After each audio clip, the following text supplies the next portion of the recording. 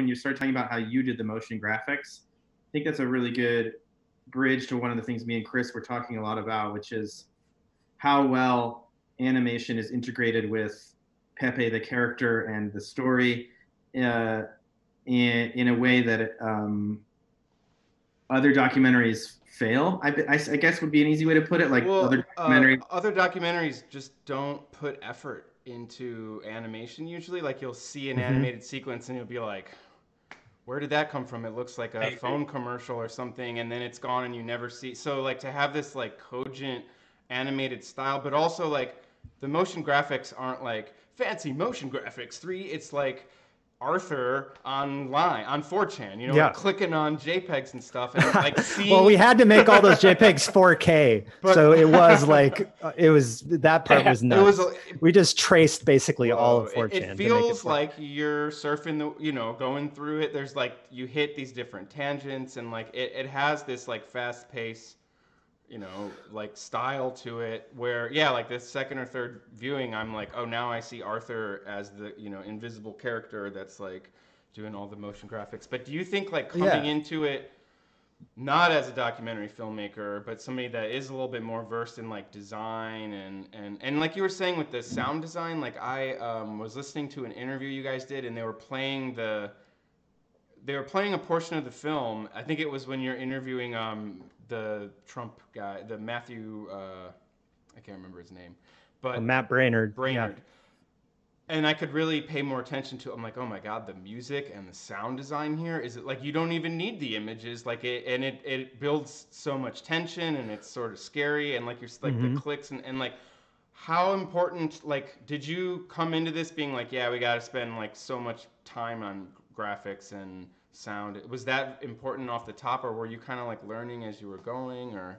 uh, i was learning as i was going it did it was very helpful to have um, aaron and giorgio and then our other producer caryn capotosto who were who are experienced filmmakers to help me along the way but it was I, I, this was like I, I put absolutely everything I had into making this movie, and I didn't want it to seem like. Uh, uh sometimes you watch a, a, documentary and you feel like it's all made out of like cardboard or something. Yeah, and I and I wanted this to feel like everything was intentional. And maybe to go back to the other question about normie thing, I I just wanted all the scenes to work on like three levels. And it, it could be three different levels, but we we would approach like uh, uh angst. and, no well for me it was like i wanted i wanted things to have like kind of an element of media studies. So for instance like the section with hillary clinton getting yelled at that's telling the story of maybe the campaign slightly getting weird for hillary but then you see how it moves virally and that's kind of another thing that takes you about like all right what are they saying about the way media travels right now?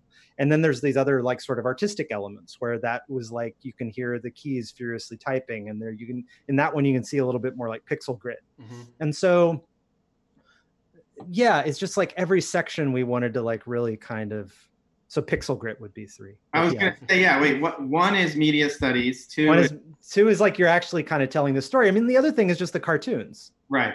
That's because those are different than the motion graphics. That's a different world and has a different feel. And most documentaries don't need cartoons in them, but luckily this movie needs Absolutely. lots of awesome cartoons. And so. it would be, I think it would be, me and Chris were saying it'd be a very different documentary if it was cartoon Pepe, but not, we know that Matt, you collaborated on that part, right? Like, so it feels like you helped out with that, right? Like a little bit. It's mm-hmm. authentic, you know. It's or it's faithful. It's like a faithful reproduction. Like you said, Trump is never walking into their mm-hmm. world. Still, Matt's boys club, but they're dealing with 2016, right? Like that's very clear. It doesn't feel like you have appropriated uh, or tried really force tried to force boys club into 2016 you know like i think that that would be another way to make the film feel really normy as if it was like somehow uh, uh, didn't feel authentic you know